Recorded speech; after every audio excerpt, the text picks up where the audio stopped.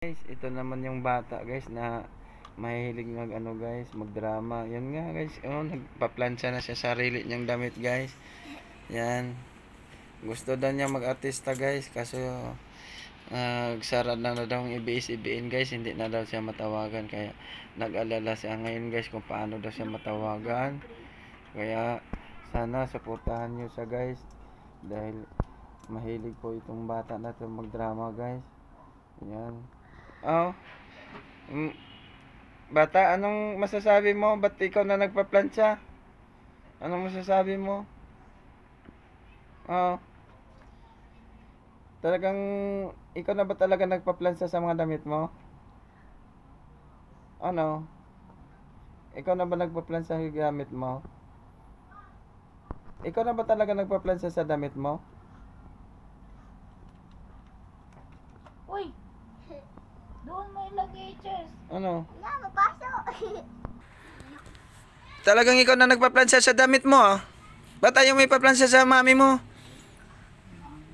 Ha? Talaga lang, ha? Talagang galing-galing mo magplancha, ah. Pwede na ka na mag, ah, mag ano, ah. Mag-artista, ah. Yung artista ba nagpa-plan siya? Oo, mayroon. Artista ng mga plancha. Ah, mahilig ka ba talaga sa ganyan? Oo, bakit nang ikaw nagplancha? Papasok ka ba sa school ngayon? Hindi. Ah, Kailan ba pasok mo sa school? Bukas. Bukas? Talaga lang ha? Wala po. Anong baon mo bukas? Wala.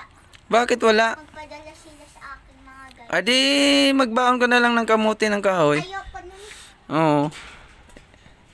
Yan guys, yan na talaga nagpa-plan siya sa damit niya guys. Yan. Talagang ano ng bata, ayaw na ipa-plan siya sa... Padala kayo ng baon ko guys. Adikas. Yan.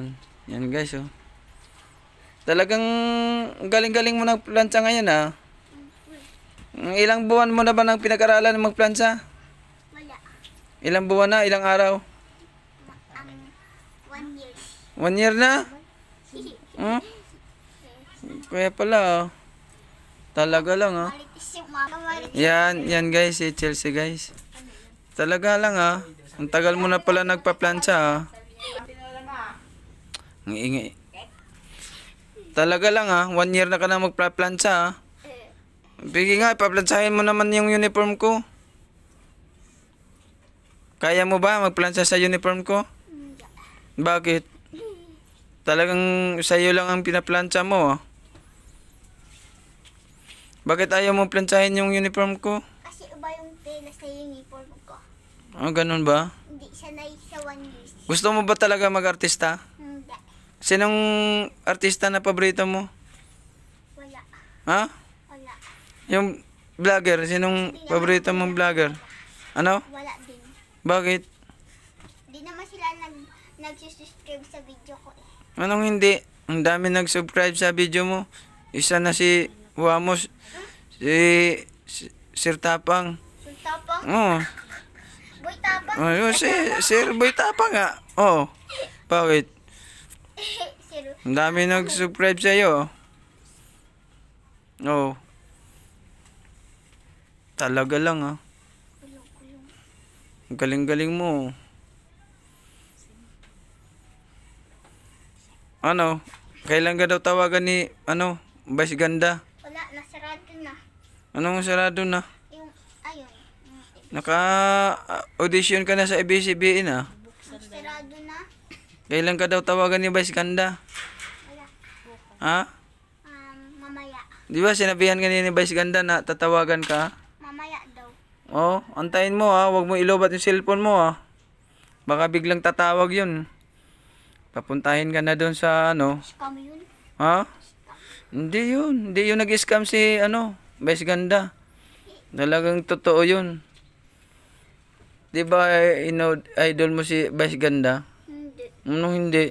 Kabayo yun eh. Ano kabayo? Idol mo yun ha. Lagi mo pinanonood yun ha. Mm, lagi mo pinanood si Vice Ganda oh. Oh, kailan ka daw tawagan? Ano sabi niya? Oh, sige, huwag mo ilobat cellphone mo ha. Kasi pag tumawag yun sa'yo, go go na tayo. Oh, i-pray mo na lang na matawagan ka na mamaya. Okay? O sige, manawagan ka ano sasabihin mo? Nananawagan po ko. Sana po padala niyo po ko ng pera. Pong baon ko po bukas. Ano pambaon bukas?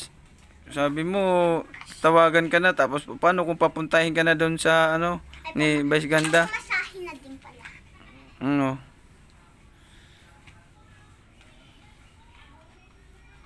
Ang tagal lang ng pagplantsa mo ah. Siyempre kailangan maayos. Talaga lang ah. Ayos na ayos yan ah. Hmm, tapos na. Yan guys, tapos na siya nagplantsa guys. At talagang maasahan na bata na talaga guys. Yan. Maasahan na bata guys. Marunong na magplantsa.